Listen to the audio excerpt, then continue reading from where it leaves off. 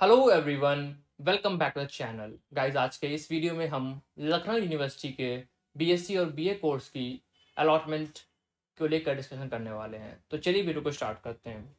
Video में आगे बढ़ने से पहले मैं आपसे रिक्वेस्ट करूँगा वीडियो को लाइक करें वीडियो को शेयर करें और चैनल को सब्सक्राइब ज़रूर करें, ताकि आपको लेटेस्ट अपडेट सबसे पहले मिल जाए।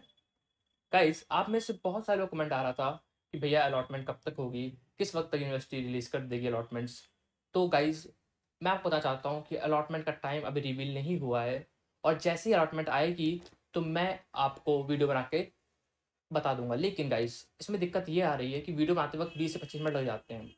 और जैसे ही इतना टाइम होता है ना, बच्चे पहुँच जाते हैं सर्वर पर और सर्वर होता है क्रैश इसलिए आपको करना क्या है, आपको जाना है डिस्क्रिप्शन में।